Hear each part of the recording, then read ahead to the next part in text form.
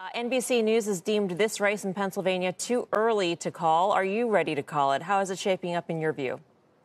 Well, there were 2.4 million mail in ballots sent to the different county election. And of that, 1.6 million were Democrats. Only 555,000 were Republicans. So I think Democrats will carry the mail vote by somewhere around 950,000, 900,000 votes. Donald Trump is running about 700,000 votes up there. So I think the Democrats should win the state by about 200,000 votes when all is said and done. But we won't be able to count. It's going to take us till at least Thursday, maybe even Friday morning, to count all these two and a half million mail ballots. Governor, on, on that note, uh, the president's already tweeting what he has this evening, what's it going to be like for the next several days if we do have to wait many, many more hours, if not days, to find out what's actually happened in Pennsylvania? Well, let me be clear about one thing. Nobody is voting after the polls close in Pennsylvania at 8 o'clock tonight.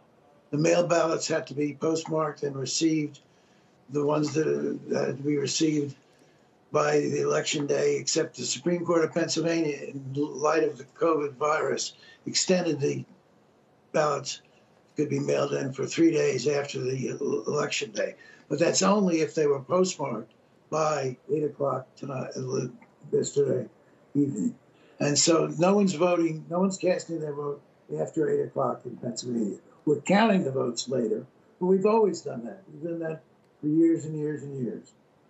At the same time, Governor, are there situations or scenarios which make you concerned uh, could actually be contested? I mean, we already know that Republicans have filed a suit to block officials from counting the provisional ballots. So, so basically, people who cast absentee ballots, if those were rejected, they were able to go into the polls today, cast provisional ballots. Republicans are seeking to block the counting of those votes. Can you see other ways in which votes could be questioned and perhaps thrown out? Well, the problem was they'd have to show evidence, evidence of fraud or some sort of uh, scheme. And there is no evidence. There hasn't been any evidence, and there is no evidence. Uh, Governor, if, if Vice President Biden doesn't win the state of Pennsylvania, how much will go towards his comments regarding fracking? The Pittsburgh Post Gazette endorsed a Republican candidate for the presidency for the first time, I believe, in 50 years. Will fracking go down as the reason why Vice President Biden loses Pennsylvania, if in fact he does? Well, I'd have to see the county by county breakdown to tell you that. Look, Joe Biden's getting a bad rap on that because I was governor when we opened up the state to fracking. We had to permit deep drilling. And we did it because natural gas is better for the environment as a, a food stock for electricity than burning coal is. And so I did. And I talked, talked to Vice President Biden about it way back in 2010. He knows, he understands that fracking is necessary because natural gas is a better thing to produce energy than electricity. But he certainly he hasn't been as clear as you've painted it out just now, though. That's led to oh, the, some of the issues been, that have existed. He's been clear as a bell. He said it a month ago in Pittsburgh over and over again. He said it over and over again. And he couldn't be more clear. He's against fracking on government land but not on private land. Absolutely crystal clear on that.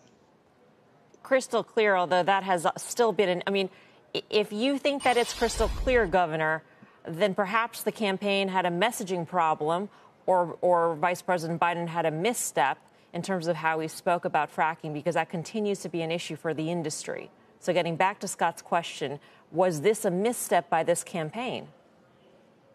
I don't think there was a misstep. Again, let me repeat he has always been for fracking on private land, and that's 90% of the fracking. He's against fracking on federal land, and that's an appropriate position to take. I opened up fracking, but I was against it on state land. All right, let's switch back to the to the vote counting, Governor. You said Friday. Is that is that truly your expectation? Well, Thursday afternoon or evening or, or Friday, but I don't think we'll see anything definitive tomorrow.